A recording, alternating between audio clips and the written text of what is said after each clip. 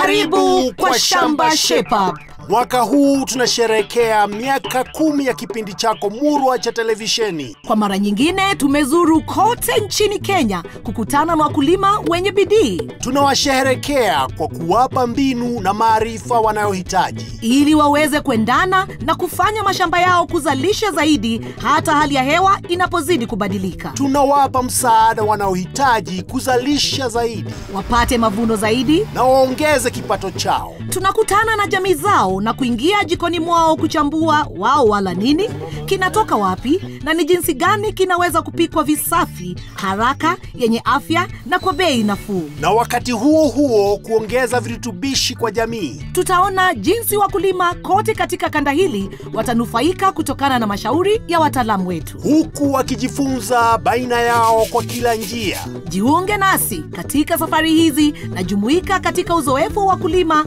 huku wakiboresha mashamba yao. Karibu kwa Shamba Shape Up Safari.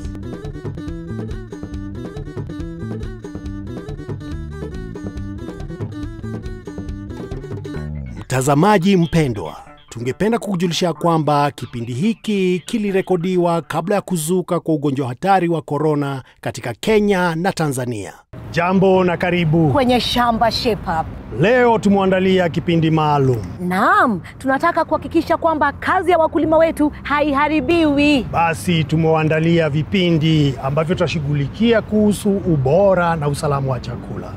Basi leo nitaenda mahali ambapo chakula kinauzwa kwenye supermarket ili nione unaweza vipi kupata nyama nzuri ambayo utapikia kitoweo chako. Naam, nami nitaelekea kujijuza mengi kuhusu viazi vitamu vya rangi ya chungu. Haya basi, twende kazi. Twende. Twende.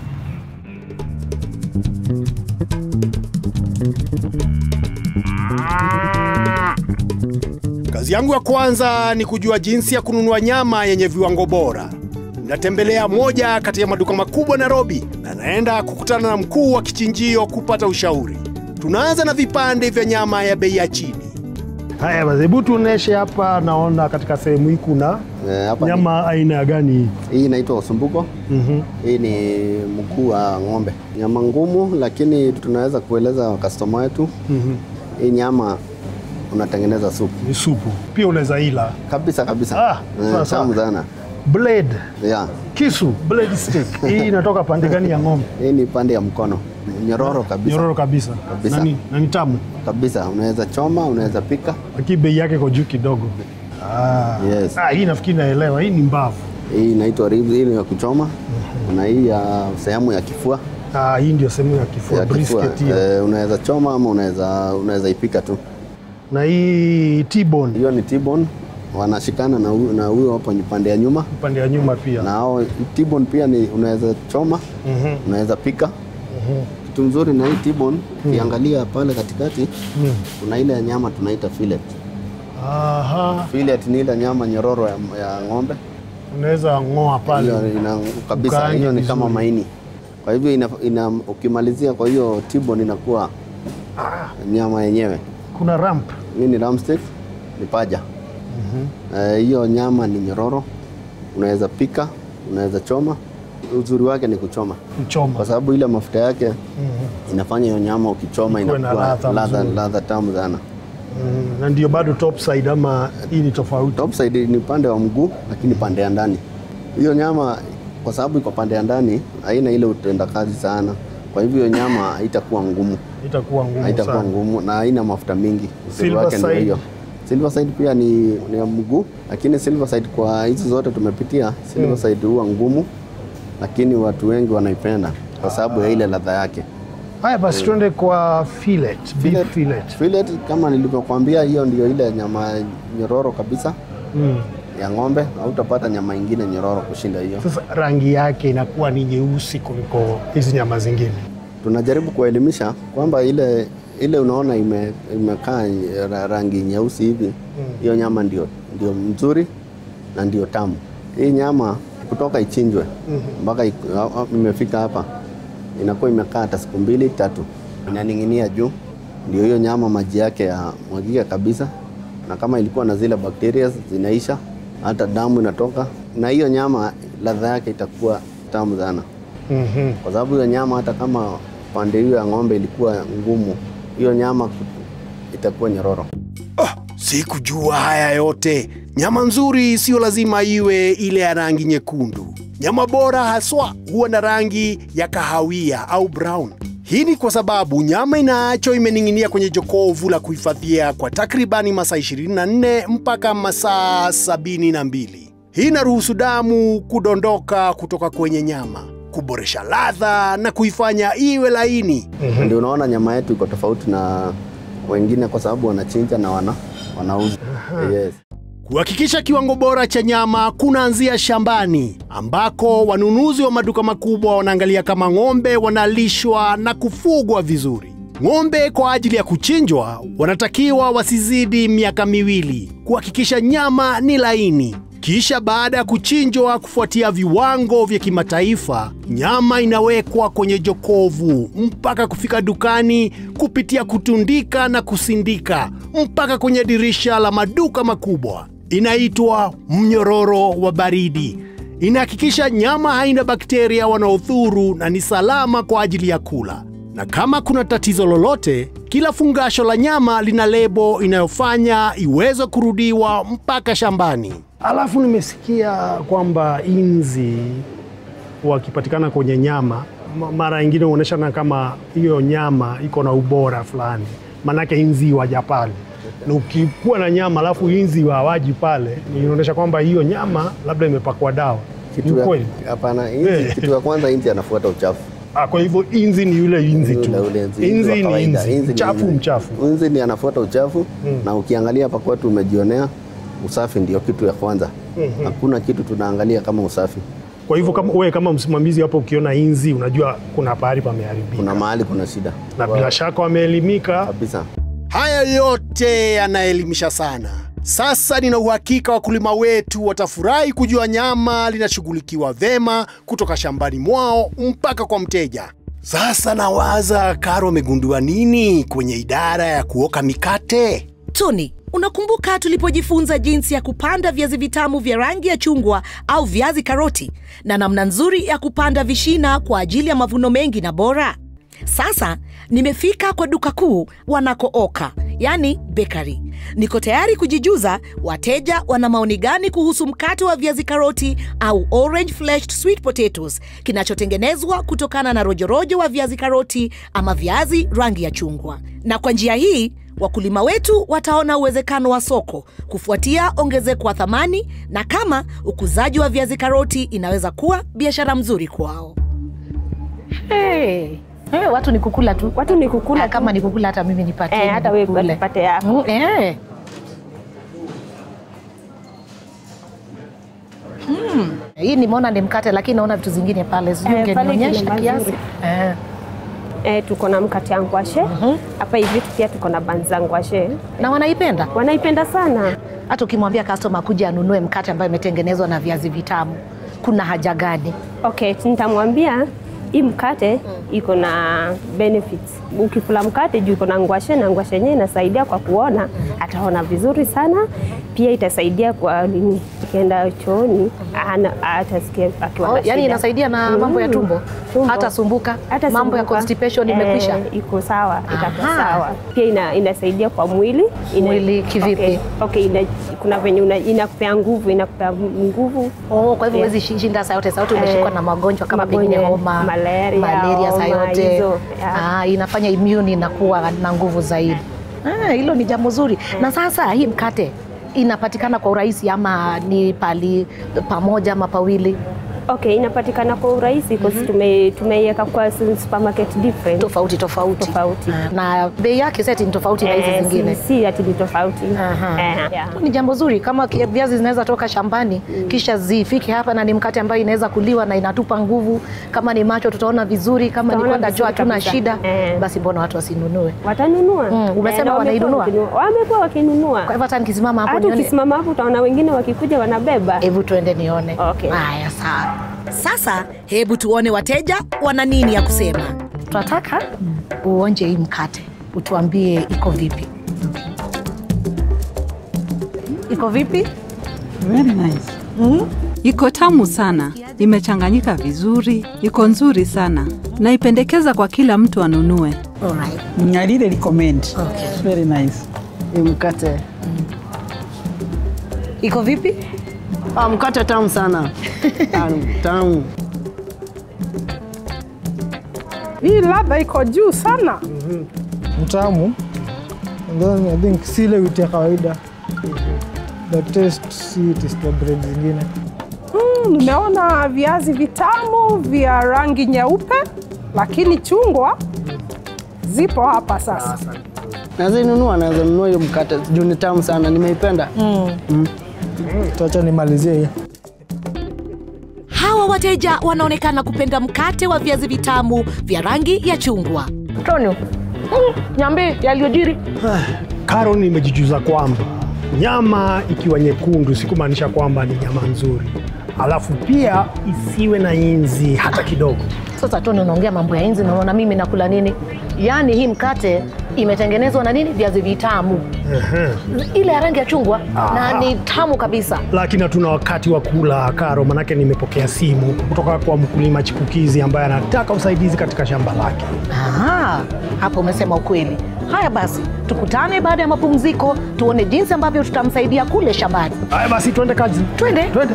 kwaherini. Kwanza Nzige wa jangwani ni wadudu hatari sana na wanaweza kuharibu mazao yako. Nzige wakubwa wanaweza kula uzito wao wenyewe kila siku. Kuna makundi matatu ya nzige unayotakiwa kukaa chonjo nayo. Nzige mdogo ni mweusi na hawezi kupaa. Wanatembea katika makundi makubwa yanayoitwa bendi, kama hivi. Nzige ambao hawajakomaa ni wekundu na wanafanana hivi. Nzige waliokomaa ni wa njano na wanafanana hivi. Haya ni maeneo ambayo kwa sasa yamevamiwa na nzige ndani ya Kenya. Maeneo yaliyoathirika sana ni mekundu. Tunaonyesha sehemu nzige wengi wameripotiwa, hivyo kuna uwezekano kubwa wa wadudu hawa kuharibu mazao vibaya sana. Maeneo yaliyoathirika kwa kadri kwenye rangi ya chungwa, tunaonyesha nzige kiasi wameripotiwa na kuna hatari ya nzige kuharibu mazao sasa, na kuna uwezekano hali kuwa mbaya. Maeneo ya uvamizi kidogo ina rangi ya njano na ni ambako kuna hatari kidogo ya uvamizi wa nzige. Inamaanisha uharibifu kidogo wa mimea au hakuna uharibifu uliosababishwa. Hatari ya nzige iko juu sana kwenye kaunti ya kaskazini na baadhi ya kaunti za kati. Marsabit na Samburu ziko katika hatari kubwa. Makundi ya nzige pia yameripotiwa Isiolo, Garissa, Laikipia na Turukana. Hizi kaunti pia zina hatari ya kuwa na nzige. Tana River na Garissa zinaweza kuwa na nzige wengi ambao hawajaripotiwa. Nzige wa jangwani ni kama moto, na wewe kama mkulima mmoja huwezi kuwadhibiti peke yako. Hata hivyo, serikali ina ndege ambazo wanaweza kupaa juu kwa juu kwenye maeneo yaliyoathirika sana na kupulizia nzige hawa dawa ambayo itawaangamiza. Ni muhimu sana uwasiliane nasi kwa namba yetu ya simu kutuambia kama umeona au haujaona nzige katika eneo lako. Usishangae, pia tunataka kujua kama haujaona nzige yoyote. Tujulishe unapoona parare mweusi, nzige mwekundu ambaye hajakomaa au nzige aliyokomaa kwa njano. Hili ndilo la kufanya. Tuma neno locust kwa 21606 na tutawasiliana nawe.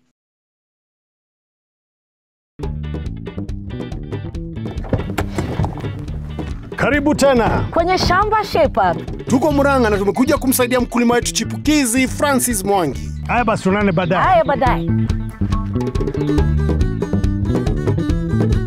Vema, na naona mtaalamu wetu Josephat Msenze amekushafika na tayari amekutana na mkulima wetu na amekuja na chombo cha hali ya juu kabisa, Dume Ripa, jembe maalum. Umetuita hapa. yeah. Haya, ni shughuli gani unataka tukusaidia nayo? Nilikuwa nataka kujua chenye naweza panda kwa avocado zangu. Ah, hapa hivi. Yeah. Francis, Yes. uh, ukiangalia kwa hii shamba yako vile avocado umepanda ziko sawasawa. So leo tulikuwa tunakuja tuone jinsi ya kusaidia hili uweze panda mimea ingine ili zaite pia avocado kuwa pamoja na kuendelea mzuri. Lakini kufuata nguzo za kilimo hifadhi kinamsaidia mkulima wetu vipi? Francis, kilimo hifadhi ni ile njia ya unalima ama unafanya kazi kwa shamba yako ukizingatia sheria tatu. Sheria ya kwanza ni kutosumbua mchanga yako. Sheria ya pili kubandirisha mimea, na sheria ya tatu ni kuacha ma, mabaki ya mimea ili umemaliza kufuna unayaacha kwa shamba. Na ndio maana leo tumekuja na Ndume rip hapa, kwa sababu inatayarisha shamba bila kusumbua mcha, mchanga, inakata tu mitaro mahali unaweka begu na fertilizer. Kwa nini kwa sasa ungemshauri mkulima atumie kifaa hiki? Kitamsaidia aje? Kuna sababu mingi umuhimu wa hii kifaa. Kimoja yake ni kubrega hard pan. Ah. Hizi points mm. zinapaswa kwenda chini uh, sentimita ishirini na tano mpaka thelathini. Nataka unielezee hardpan ndo nini? Hardpan Francis ni ukiangalia shamba yako, kwa sababu umelima na trakta ile ya kawaida kwa muda mure mrefu, inafika wakati kuna mahali huwa inatengenezwa inakuwa ngumu kama simiti ama kama mawe, na hata ukilima na tingatinga ya kawaida ama ng'ombe unasikianga sauti ngumu, inawezi penetrate. So hardpan ni hiyo sasa sehemu ngumu ya mchanga, ndio tunasema hii sasa kazi yake ni kufunja hiyo hardpan ili mizizi yako ya ile mmea unapanda inaweza ingia chini mzu, mzuri. Kukinyesha maji yako inaingia tu vizuri, hakuna hakuna maji inakimbia ovyo ovyo. Na hii mashine Dume ripa, ukiangalia vile imetengenezwa, imewekwa na sehemu tatu za muhimu. E, mahali ya kwanza ya muhimu ni hizi kata kama vile nimesema, unawasha mabaki ya mimea yako kwa shamba, ile wakati unalima si kuna hiyo mabaki, so hii itapita ikikatakata, ili isikuje kuzuia hii ku- kukata mitaro. Ah. Hizi points mm. zinapaswa kwenda chini uh, sentimita ishirini na tano mpaka thelathini na hiyo hadi pale nikiguza, unajua itaamka yote. Ehe. So kiamka yote, huyu naye anakuja anaita klabla, Ah. naye klabla anakanyanga hiyo, anairudisha mahali ilikuwa. Kutumia kijembe au kichimbi maalum cha Dume ripa inakamilisha kazi ya aina nyingi kwa mara moja. Kikatio kinachanja mabakio ya shamba kikiacha nafasi ya kichimbi au ripa kuchimba ndani kwenye udongo, kuvunja safu ya udongo mgumu. Kwa nyuma, klaba au kigongo inaponda madonge makubwa ya ardhi ikiacha udongo laini tayari kwa ajili ya kupandia. Kazi imeisha. Eh, mi na hamu sana ya kuona kifaa hiki kikifanya kazi. Na wewe je, Francis, ungetaka kujionea? Ndio. Haya basi, tuone vile kifaa kinafanya kazi. Asante. Faida kubwa ya kutumia tingatinga kuvuta kijembe au kichimbi cha Dume inamaanisha mistari inanyooka kwa nafasi sawa katikati ya mishororo ya parachichi, wakati kichimbi au ripa kinahakikisha usumbufu kiasi tu wa udongo, inamaanisha udongo unabaki wenye afya na uliojaa virutubisho kwa ajili ya miparachichi na maharagwe ambaye Francis anaenda kupanda kwa kuchanganya katikati ya parachichi zake. Eh, nano inafanya kazi kwa haraka tena. na hata mkulima akiangalia hii trakta imetoka tu hapa saa hii, angalia mahali imefika, Ehe. dakika kidogo tu at, itakuwa imemaliza hii shamba yote. mm -hmm. yeah. Na sasa ikilima namna hii, tuseme mkulima wetu Francis atapata mavuno yakiwa namna gani? Hii hata sio kitu ya kuuliza yeah. kwa sababu ukiangalia vile hiyo shamba vile imetengenezwa saa hii, mi- mitaro vile imekatwa, mm -hmm. utaweka fertilizer, utaweka mbegu kwa hiyo mitaro. Hiyo ni kumaanisha ile fertilizer yote umeweka itatumika na mmea ya- yako.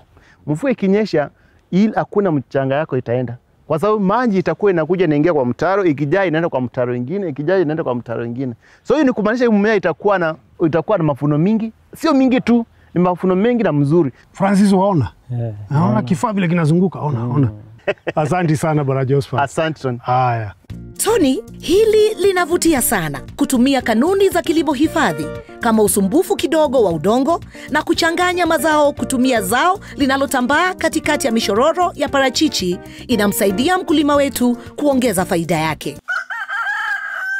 Kirusi cha korona husambaa pale unapogusana na chafya au vitone vya kohozi kutoka kwa mtu aliyeambukizwa. Watu wenye umri zaidi ya miaka 60 pamoja na watu ambao kinga yao ya mwili zipo chini au wana magonjwa kama kisukari, ugonjwa wa moyo au ukimwi wako katika hatari ya kuugua ugonjwa huu. Wanahitaji kuwa makini ili wasipate maambukizi ya hivi virusi. Usifanye mzaha hata vijana wanaweza kuambukizwa na hata kusambaza virusi hivi. Tabia njema za kijamii zinaweza kuzuia virusi kusambaa. Kaa nyumbani na epuka sehemu za mikusanyiko wa watu. Acha nafasi ya mita mbili kutoka kwa mtu mmoja hadi mwingine. Usisalimiane kwa mkono au kukumbatia. Epuka kukaribiana na mtu anayeugua. Wazee wanapaswa kukaa nyumbani. Unaweza kuwasaidia wanafamilia wazee au majirani kwa kuwaletea vyakula na madawa hadi milangoni mwao. Kama umesafiri, jiweke karantini. Hii inamaanisha ukae nyumbani kwa siku kumi na nne bila kutangamana au kuonana na watu wachache peke yake. Kama una dalili za homa au joto mwilini, kikohozi au tatizo kupumua, wasiliana na daktari au fika hospitalini kuomba ushauri zaidi. Tabia na desturi bora binafsi zitakupunguzia hatari ya kuambukizwa. Fanya zifuatazo: moja, osha mikono yako vizuri kwa maji na sabuni kwa angalau sekunde 20 kama mara kumi kwa siku. Mbili, epuka kugusa uso wako. Tatu, kama huna tishu, chafya au kohoa kwenye mkunjo wa mkono wako, sio kwenye kiganja. Nne, osha na upige pasi kitambaa cha mkono kila mara. Tano, safisha au tumia vyeuzi kwenye maeneo vya kugusa kama vile simu, meza, viwasha taa, vifunguzi vya milango kila siku. Sita, kwa kutumia pesa, epuka pesa taslimu. Tumia mitandao au kadi za benki mara nyingi kadri uwezavyo.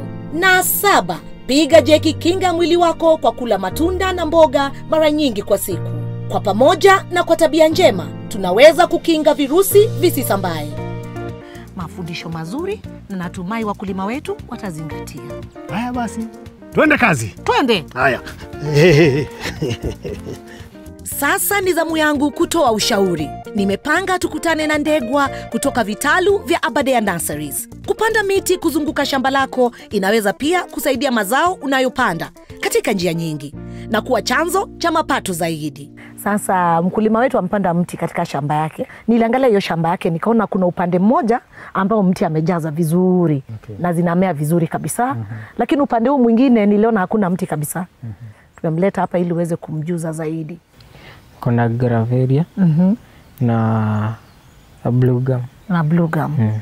Wewe utoa wapi uh, miche yako ya mti? nanunuanga tu kwa saidi ya barabara Yaani wewe ukipita mahali uone watu wanauza mti mahali, utasimamisha gari wewe ununue, uweke kwenye gari, upeleke shambani na upande. Yeah. Hivi ni vyema kweli? Uh, hatutamlaumu sana sababu alifanya hivyo kwa kutojua. Mimea yote ukipanda upande mimea ambayo ni safi, Naam. mimea ambayo imeidhinishwa, hiyo ni kumaanisha certified. Kutoka siku ya leo usiende kuchukua miti kwa barabara, enda kwa nursery ambayo inatengeneza miche safi kama Abadea Technologies. Ile mbegu imetumika ni mbegu ambayo imeidhinishwa, ambao watakuelezea hata venye unapanda, na ndio hata uweze kupata matokeo mazuri. Hivyo kumbuka, nunua miche kutoka katika vitalu ambavyo vinatumia mbegu zilizothibitishwa. Pia wakati unanunua, angalia ukubwa wa mche. Miche ya miti inapaswa kuwa takriban sentimita 30 kutoka kwenye shina mpaka mizizi. Sentimita 20 ni shina na sentimita 10 ni mizizi ambayo iko ndani ya chungu. Kuna sababu nyingi ambazo lazima tupande miti kama Wakenya. Mm. Jambo la kwanza ni kifuli. Jambo la muhimu sana, Jambo sana. la muhimu sana. Naam. Kama sasa tumekaa kwa shida ambao ni safi Kabisa. eh, kado na hayo, hii miti yenye imetuzunguka hapa inaweza kutupea bao bao, tunajenga nazo. Kweli. Kuna fikigi ya stima, kwa hivyo miti iko na matumizi mingi. Lakini ukiwa na zaidi ya aina 130 za miti, mkulima atajuaje ni mti gani bora wa kupanda? Baadhi ya miti inakuwa vyema kwenye maeneo ya nyanda za juu, mengine nyanda za chini, mengine inakuwa kwa haraka na mengine ni mizuri kwa ajili ya mbao. Kwa hivyo nimemwomba Ndegwa kutueleza aina za miti ya kawaida. Kwanza ku- ku- kuna muti iko hapa Grevillea ni muti ambao unapendwa sana na wakulima e, kado na kupeana bao mzuri sana mm. inaweza mm. suiria upepo mkali Mm. inasuilia matawi yake ikianguka inaongeza rutuba kwa mchanga na, na ndizo tunasema ni agroforestry trees. Mm. E, kado nao tuna pine. Hii mti unaipata e, highland sana mm -hmm. ni mti ambao inapendwa kwa bao mzuri. plyboards una, unapata hii ndio inatumika sana na. inatumika pia kwa makaratasi mm -hmm. na. Hii inaitwa Eucalyptus grandis. Hii naisifu sababu unajua faida zake. mm -hmm. Grandis ni mti ambayo inakuwa haraka sana, na hii ni mti ambayo inapandwa kutoka medium lowland to highlands. Kwa hivyo ni kwa kimombo tunasema ni wide range. Kwa muda wa miaka tuseme muda wa miaka miwili kutoka hapa unaweza pata mafuno. Ukienda miaka ine uharvest fikigi ya kujenga kigi kimoja unauza mia moja hamsini mpaka mia mbili ukienda miaka tano hapo unaweza pata kuni mm -hmm. kwa miaka saba kuendelea mpaka kumi kikigi ya stima unaweza uza na ni pesa mzuri pia miaka nane mpaka kumi unaweza pata bao za kujenga na ni bao ambazo ni safi na bao ambazo ni gumu Kumbuka, kila unapopanda miti ya eucalyptus, hakikisha sehemu utakayoipanda haiko karibu na majimaji kama vile kando ya mito au ziwa. Uchaguaji kabambe. Lakini Francis anataka kujua miti gani inakuwa bora katika eneo lake kwa ajili ya kupanda kuzunguka shamba la parachichi. Sasa ni mti gani inaweza panda kwa hizo sehemu? ulikuwa umeniambia pia kuna sehemu yako ya shamba iko na malam ama mshanga ni, ni firishalo. shallow Eh, eh, alikuwa amesema hivyo. unatumia hybrid. Hybrid itaweza kumanuva ama kukua kwa mshanga ambao ni very shallow. Hybrid eucalyptus. Ili hii miti ikuwe vyema na kupata mazao bora, inatakiwa kupandwa kwenye udongo sahihi, kwenye hali ya hewa inayostahili na kiasi sahihi cha mvua. Wasiliana na Ai Shamba kujua chanzo cha mbegu zilizoidhinishwa karibu nawe na kupata ushauri wa miti gani inaota vyema katika eneo lako. Ni siku hizi tunalima hata miti kibiashara, unalima kama kilimo biashara, sababu hasa ukipata miti yako uende kwa ile soko ambayo inafaa, u- unapata mapato mazuri mazuri. Na wewe mwenyewe umejaribu kupanda hii mti, pengine ukapata faida, ndio mkulima wetu awe na hiyo motisha. Mimi shamba la babangu ni kidogo, ni eka mbili peke yake. Eka mbili. Nikamwambia tushike sehemu kidogo, Mhm. akakubali, tukapanda miti kama mia nne Mhm. slightly more than half an acre. alafu seven years hivi tuliweza kukata hiyo miti, tukauza mifikigi ya stima, na kutoka hapo tukanunua shamba shamba kubwa eka mbili sawa na ile tuko nayo. Mm, kabisa. Kwa hivyo kilimo ya miti inakupanua mm -hmm. katika maendeleo. Tunasema ni asante sana Bwana Karibu, Ndembo. karibu sana. Basi umejisikilia wenyewe, wakati unapotaka kununua mti, nunua mti yako mahali ambapo imeidhinishwa, na kama unataka pia mawaidha, kuna mahali kama Abadea Technologies ambao wako tayari kukupa mawaidha. Kumbuka kwamba unapopanda mti na unafuata maadili mema ya kupanda mti, basi mti itakupa faida. Vema, katika muda wa miaka michache nadhani Francis atakuwa na mavuno mengi kutoka kwenye parachichi zake. Ni muda wetu sisi kuondoka kwa ajili ya shamba lingine. Kwa heri.